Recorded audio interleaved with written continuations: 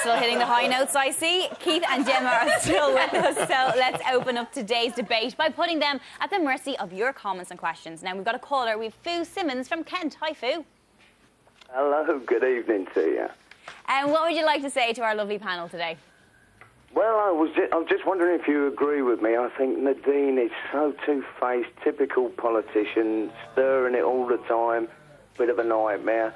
Plus, I think I, I want David Haye to win. He, he's fantastic. But yeah, my main concern is Nadine. She's so two-faced. Two-faced. Do you agree with that? What do you think? Yeah. Two-faced, guys? Yeah, quite, yeah, she is two-faced. Yeah. I mean, she's... She's I think literally had two faces, though, hasn't she? Pre and post-op. Yeah.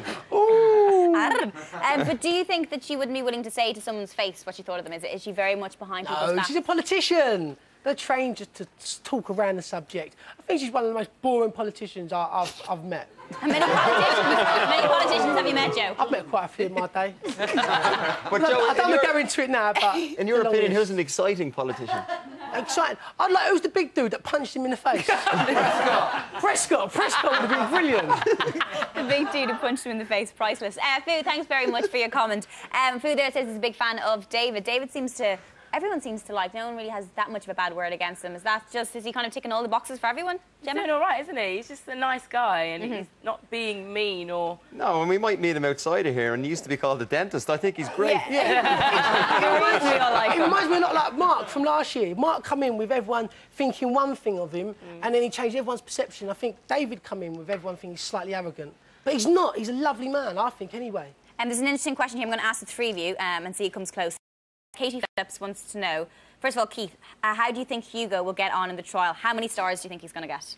I don't think he's going to do well at all. No? I, I, I think maybe two, three, Two, two or three. Okay, Gemma. I'm going to say four with tears. Four with tears. we'll get tears no matter what. Joe? Uh, from what I've seen down there, I reckon he might do pretty well. I think I'm going to say 10. Ten. Nice. And Rob, finally, what do you think? Um, how many stars? Stars. I think he's, good. he's going to do all right. I think he's going to surprise us. Eight. Eight. Okay, interesting. And I'm going to say five. Did anyone else say five? No. No, grand. Okay. Uh, okay, another question here we have um, to the panel. Um, who do you think will survive the longest in the bed bugs challenge? We just saw a teaser there at the end of the ITV1 show. Mm, probably the nastiest challenge, and they did it last year. I remember Mark, right, last year, screaming with the rats. The best scream ever. Best. was such a screamer. Um, so it's quite, it's, it's mentally, physically. That's terrible. Mark's a screamer. I think you picked up on that. Um, who do you think will last the longest in that? You're, you're contained, there's bugs I in think there. David Haye will. Yeah. Yeah. Is there anything he can't do?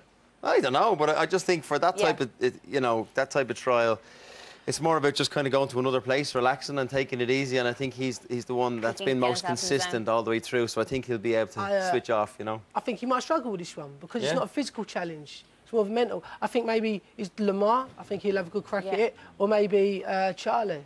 I think David. Colin. I'd, I'd love to say Rosemary. Wouldn't it be wicked if Rosemary was just like yes? But I think I think it probably will be David. I'd love to see Charlie do well in it. I mean, a Yeah. girl that cries because of the heat. is Yeah. Classic. I mean, if it was on that one clip, she'd win this for me. You know what I mean? Uh, Rob, what are other people saying Oh, online? Any question, questions? question for Keith. Keith? Um, you, your character Coronation Street was a chef. If you was in a camp, would you take over the cooking? No, definitely not. No. No, no, I'd let somebody else cater for that. I, I think she's got confused with real life and a character. We all do. I wouldn't know what to do with a crocodile's foot. Gemma, um, question for you from uh, Callan J. Hodges. What's been the funniest moment in the series so far? That fajitas clip was pretty amazing. Watching her cry, she's so uh, hungry. I was on. I did my show on Saturday morning Yeah. back at home, and uh, we clipped the farting Yeah. and the laughter. Just that I love that delirium thing where people would just laugh for no reason. It's We so love it. It's what we do in the show a lot, laugh for no reason. I love it. we are fast approaching the end of tonight's show. Just time for Rob. She Just time for Rob tell us what he's learned. Off you go, Rob. OK. Um, our celebrities are almost half